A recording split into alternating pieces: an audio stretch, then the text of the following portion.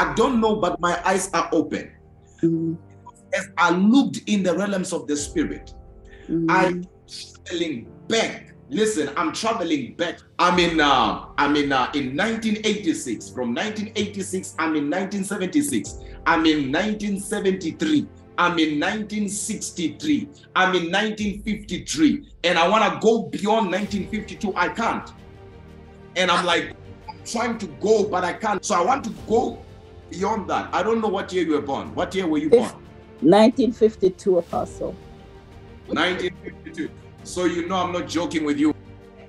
no you're not apostle i receive Hear me and hear me very well. The Lord is saying He has heard your prayers and He's going to touch your husband. I don't know what Anderson. I don't know what Anderson. What is that? it's elaine anderson That is your your name or what?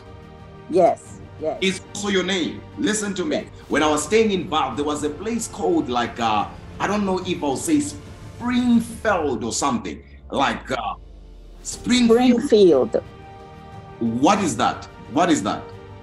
i live in springfield massachusetts That's where you live. There is an angel of the Lord, and this is an angel of prosperity that I'm talking to you right now about.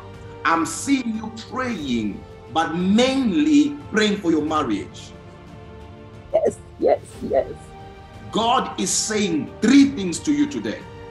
He says, I've heard your prayer. amen I've seen your giving in the church.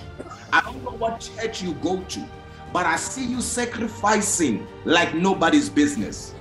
Mhm. And God is saying one more thing to you your days of weeping are over.